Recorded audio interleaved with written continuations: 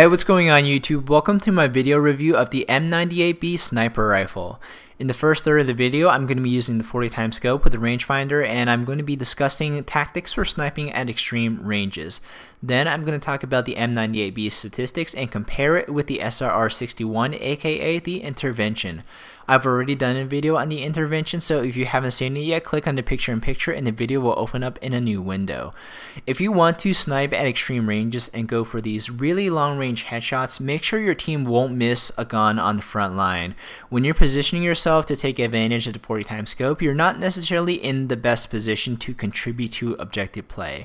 Even if you got really good at sniping at extreme ranges, like say one kill per minute, I think that's a realistic number to say someone's really good at extreme range sniping, or even if you were Mark Wahlberg from the movie Shooter, you're not helping your team as much as being close to the objective and watching the lines of sight over the MCOMs or the flags because extreme range sniping doesn't necessarily give you the best line of sight to watch over those flags or MCOMs if you notice the score in these games where I'm sniping at extreme ranges, the enemy team has no chance whatsoever to come back, so I decided to have some fun and test the limits of the M98B. If you remember some of my previous sniping videos, I normally don't recommend zeroing your scope, but I do for these shots because I am aiming at only one specific range. On the 40 times scope, the first line down from the center of the crosshair is 200 meters above your zero. So if you zero your scope at 500 meters and the target is at 700 meters, put your target on the first line from the crosshair center.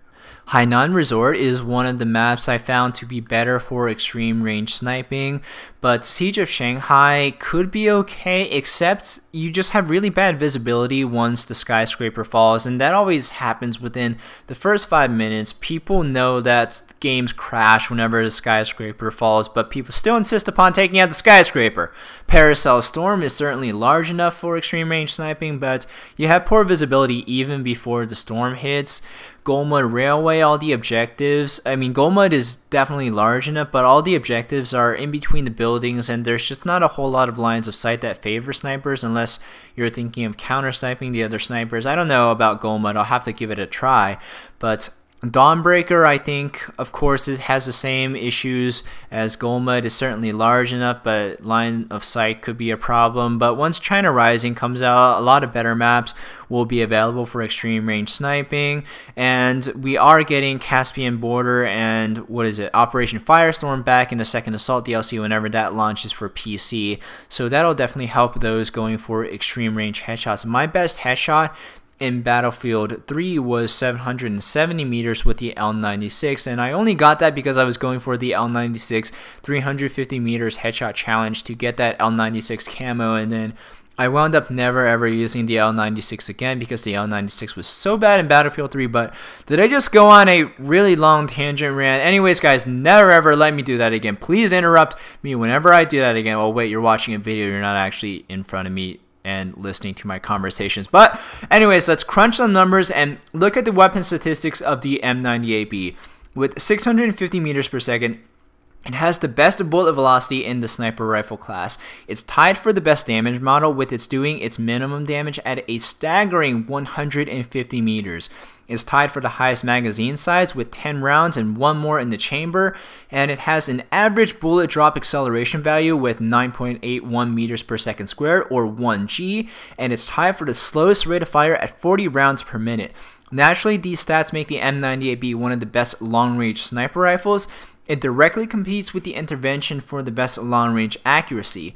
The advantages it has over the intervention is that it has a 30 meters per second faster bullet velocity and 3 more bullets in each magazine, but the disadvantage over the intervention is that it has slightly more bullet drop. The intervention is tied for the least amount of bullet drop in the sniper rifle class. From my experience, both rifles are lethal at long ranges but 200 meters and above is where the intervention really starts pulling away from the M98B. If you remember some shots I took earlier in those extreme range headshots, the bullet flight path was extremely parabolic because I aimed so much above the target.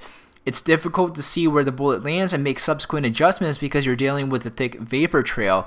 But the less bullet drop on the intervention means a flatter bullet trajectory and it's easier to see where each bullet lands and make adjustments from there. For engagements longer than 200 meters, the intervention is definitely my pick. But under 200 meters, the M98B is a lot more deadly. You have three more bullets in each magazine, so you can keep putting rounds downrange instead of ducking back to reload. A high bullet velocity is personally my most valued sniper rifle characteristic. I shoot at a lot of moving targets, so a fast bullet velocity means I have to lead each target less. I find it easier to adjust for bullet drop than anticipating target movement, so the low bullet drop on the intervention doesn't help me so much at sub 200 meter targets.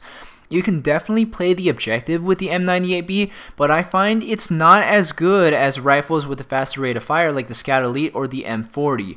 You don't have as good of a chance to land follow-up shots in panic situations, but in a way, a high damage offsets a slow rate of fire. Because it takes such a long range before the M98B starts doing its minimum damage, you have a good chance for one-shot body shot kills. With 75 damage at 80 meters, you can still kill someone with one body shot if they took just one assault rifle bullet. There's a lot of activity around the objective, so you're going to find a lot of half health targets.